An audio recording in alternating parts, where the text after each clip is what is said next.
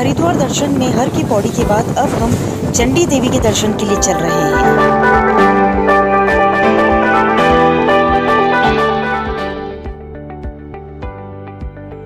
Chandi Devi temple में अंदर जाने का रास्ता है। देख सकते हैं आप, काफ़ी रश है, गर्मी बहुत है, लेकिन उसके बाद भी भक्तों की भीड़ उतनी की उतनी। यहाँ हमें चेकिंग के बाद अंदर जाना होता है।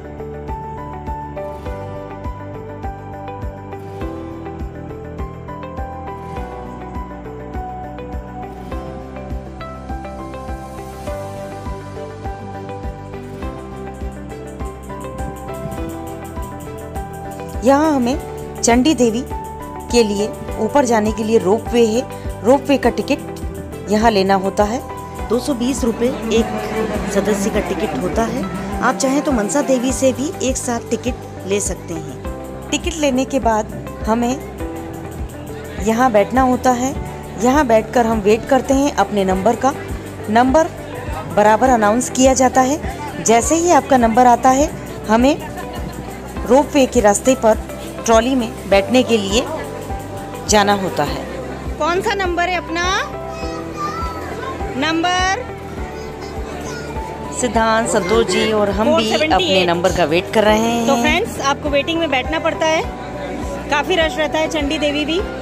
इसलिए आपको वेटिंग में इस तरह से बिठा देते हैं। लेकिन नंबर बहुत जल्दी आ जाता है। ज़्यादा वेट नहीं करना पड़ता। आप चाहें तो मनसा देवी से रोप वे और चंडी देवी रोप वे दोनों का टिकट एक साथ ले सकते हैं, लेकिन उसमें ज़्यादा वक्त लगता है, इसलिए हमने अलग से टिकट ली। और अब हमारा नंबर आ चुका है। हम लोग एंटर हो रहे हैं। अंदर जाने का रास्ता भी मैं आपको बता रही हूँ।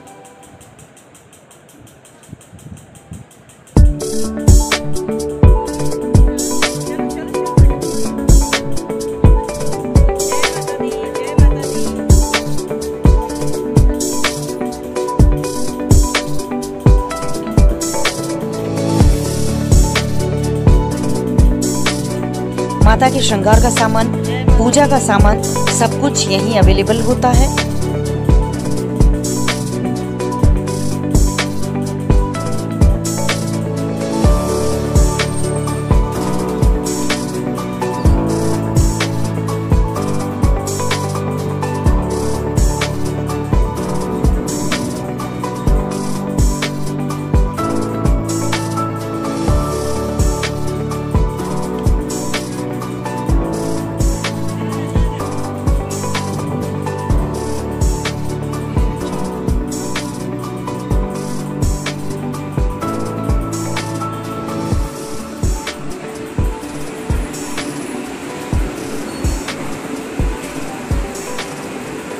ज़्यादा रश होता है तो ज़्यादा घूमकर जाना होता है।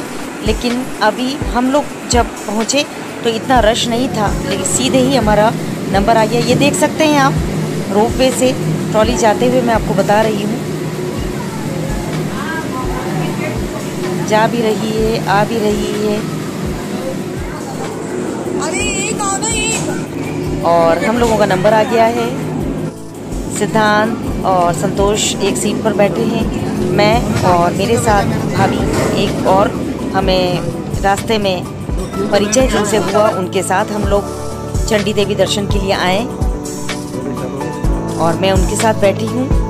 मुझे थोड़ा नीचे देखने में डर लगता है, इसलिए मैं देखती नहीं हूँ। देख सकते हैं आप कितना सुंदर सीन माता रानी का मंदिर ऊपर तो है।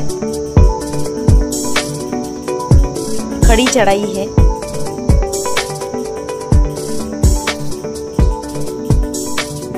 और मैंने अपना माइंड डाइवर्ट किया वीडियो बनाने में। नीचे मैं नहीं देख सकती। मुझे चक्कर आते हैं। इसलिए मैंने अपना माइंड डाइवर्ट करने के लिए मैं वीडियो शूट करने लगी और ऊपर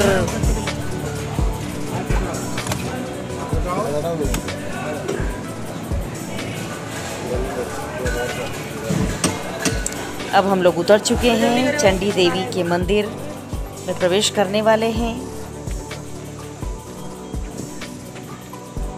कुछ सीढ़ियाँ हमें चढ़ना होता है। और आप देख सकते हैं, बहुत ही ब्यूटीफुल व्यू जो इस वक्त मैं आपको दिखा रही हूँ।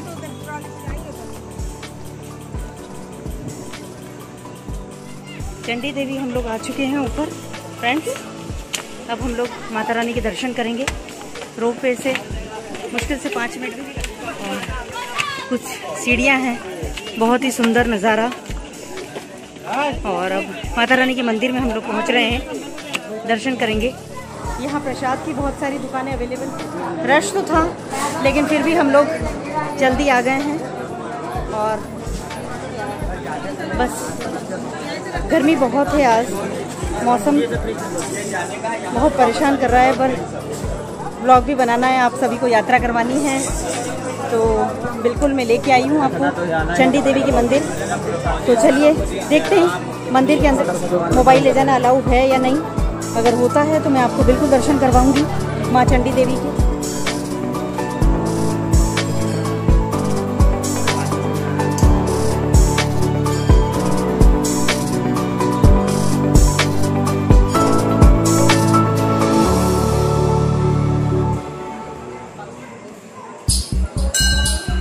हरिद्वार में कुल तीन शक्तिपीठ हैं, मनसा देवी, माया देवी और चंडी देवी शक्तिपीठ। यह शक्तिपीठ स्थापना का इतिहास ऐसा है कि एक समय में चंड और मुंड राक्षस हुआ करते थे। माता ने यहीं पर उनका वध किया और चंडी देवी कहलाई और चंडी देवी के नाम से यह शक्तिपीठ स्थापित हुआ। मंदिर तक पहुँचने के लिए यहाँ भी हमें कुछ सीढ़ियाँ चढ़नी होती है। ये देख सकते हैं आप, भक्तों ने अपनी मन्नत लिए होंगे कुछ। तो माता रानी की चुनर और यहाँ बाँध रखी है। मन्नत करके जाते हैं। माता रानी सभी की मनोकामनाएँ पूरी करती हैं।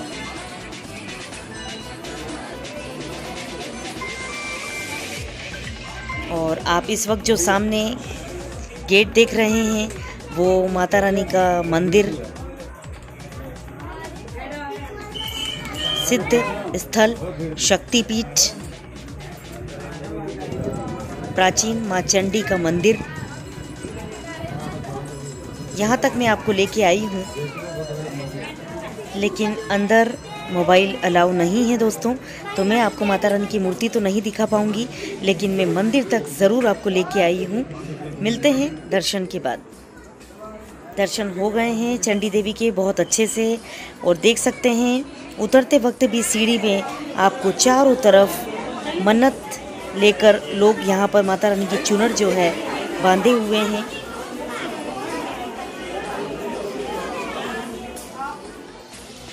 चंडी देवी ऊपर पहाड़ी से बहुत ही खूबसूरत, सुंदर नज़ारा देखने को मिलता है।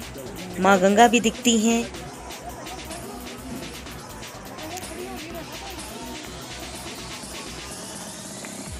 तो फ्रेंड्स आई होप आपने चंडी देवी के दर्शन किए होंगे।